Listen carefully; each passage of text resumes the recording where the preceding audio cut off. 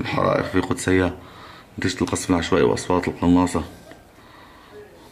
22 سبعة 2012 قصف الهمجي على المدنيين الآمنين في القدسية وهذه أحد الحرائق نتيجة سقوط أحد المنازل